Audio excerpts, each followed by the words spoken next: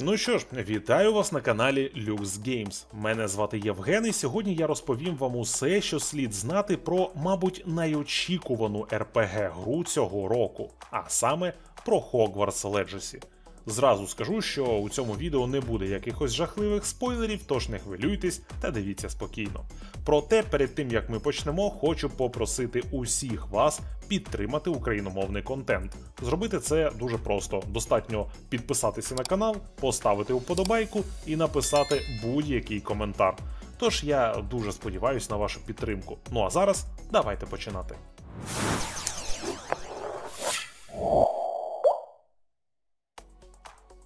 Hogwarts Legacy – це далеко не перша гра про чарівний світ магії та чаклунства школи Хогвартс. Починаючи аж з 2001 року, різні розробники намагалися відтворити пригоди хлопчика, що вижив у різноманітних ігрових проектах. Відверто кажучи, це вдавалось у всіх по-різному. Проте, думаю, у пам'яті більшості людей, що грали в них на момент релізу, ці ігри залишили приємні та теплі спогади. Але слід визнати, у всіх тих іграх була одна величезна проблема, а саме суворе слідування за сюжетом книги. Тож, якщо ви читали книгу чи дивилися фільм, то ви точно знали, чим скінчиться історія у грі. Думаю, розробники Hogwarts Legacy теж подумали про це і вирішили перейняти досвід CDPR, які у свій час взяли крутий прописаний книжковий лор пана Сапковського і створили на його основі нові пригоди відьмака. Тож, так само як і у іграх серії Відьмак, в Хогвартс Леджесі нас буде чекати абсолютно нова історія, яка буде повністю базуватися на величезному книжковому всесвіті Джоан Роулінг. Пару слів треба сказати про сюжет, та не хвилюйтесь, значних спойлерів ви не почуєте. Дія гри буде відбуватися наприкінці 1800-х років. Головний герой за сюжетом потрапляє у вирій якихось подій, під час яких стає зрозуміло, що він володіє магією. Ну а після цього його запрошують у Хогвартс. Проте, зважаючи на те, що на початку гри вашому персонажу буде десь 15 років, то його зараховують одразу на п'ятий рік навчання. Головною ж проблемою та ворогом у грі стане гоблін на ім'я Ранрок. Він ненавидить чаклунів і планує захопити владу. Ну а на цьому все. Більше подробиць про сюжет немає, і я думаю, це навіть добре. Так нам з вами буде набагато цікавіше самостійно про все дізнатися під час проходження гри. Єдине, що слід додати, це те, що сюжет у грі нелінійний. Наразі невідомо скільки саме у грі кінцівок, проте їх точно декілька. Ну а всім прихильникам Потеріани хочу також сказати, що зважаючи на відрізок часу, у який все буде відбуватися, ми точно не побачимо у грі знайомих персонажів з книги. Проте спостережливі фани вже помітили в ігроладних демонстраціях предків родини Візлі, тож, можливо, у грі будуть ще й інші.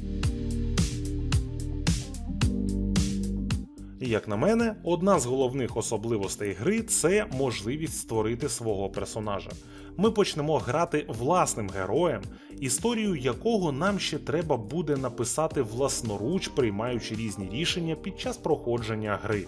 Тобто ми граємо не таким собі Геральдом з Ривії, про якого вже всі все знають, а навпаки, темною конячкою, котра стане відома у майбутньому. Що ж стосовно редактора персонажів, то його повністю вистачить, щоб створити унікального героя, яким потім вам буде приємно грати.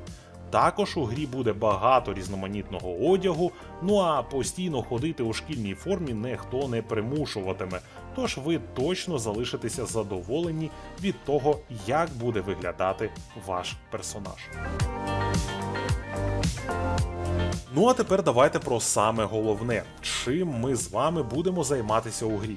Наразі відомо, що після прибуття у Хогвартс гравцю дозволять самостійно обрати факультет, а значить, що ми зможемо побачити, як там живуть та де мешкають не тільки грифіндорці, але й учні Слизерину, Коктеврану та Пуфендую. Ну а після цього гра відкриває перед гравцями двері у чарівний світ, і ви можете вільно його вивчати. Для дослідження нам виділяють величезний замок Хогвартс, темний ліс та селище Хоксміт. І все це буде однією величезною відкритою локацією. До речі, мабуть, це вперше, коли ми з вами побачимо суцільну картину замку та території навколо нього, і зможемо дослідити усі цікаві куточки, які раніше лише бачили у фільмах. Окрім дослідження, нас чекають і різноманітні завдання. Якісь з них будуть звичайно рухати сюжет, а от інші допоможуть глибше зануритися у ігровий всесвіт. Маю зазначити, що завдання можна буде знайти практично скрізь, тож під час гри слід бути уважним, щоб не пропустити якийсь другорядний квест, бо розробники запевняють, що у грі не буде банального піди та принеси, а навпаки. Кожне завдання буде окремою цікавою історією. А ще магічний світ гри приховує безліч цікавих секретів, і щоб їх розкрити, вам доведеться трохи повозитися.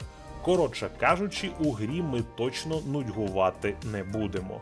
Ну і не слід забувати про те, що ми все ж таки знаходимося у школі, а значить, треба буде навчатися, відвідуючи уроки зілля варіння, травології, захист від темних мистецтв і таке інше. І я мушу зазначити, що дуже радий заяві розробників про те, що уроки будуть чимось на зразок другорядних завдань, і у грі не доведеться займатися тайм-менеджментом та бігти, наприклад, з темного лісу на заняття з травології, бо воно ось ось має початися. Гравець може сам вирішувати, коли і на яке заняття піти. Самі ж уроки будуть виглядати як окрема міні-гра, та існують вони не просто щоб зайняти гравця, а дозволять вам прокачуватися. Наприклад, на заняттях зілля варіння ви будете дізнаватися нові рецепти для подальшого крафту різного зілля, а на уроках по захисту від темних мистецтв про нові заклинання, що допоможуть вам у бою. До речі, бої. Під час дослідження світу та просто йдучи по сюжету, вам досить часто доведеться битися з ворогами, і чим далі по сюжету ви будете просуватися, тим більш насиченою буде бойова система. Нові заклинання, нові зілля і так далі. Все це має урізноманітнити бої у грі. Проте я наразі дуже хвилююся, чи не набридне постійне махання паличкою і чи не перетворяться дуелі та бої з ворогами на щось нудне та одноманітне.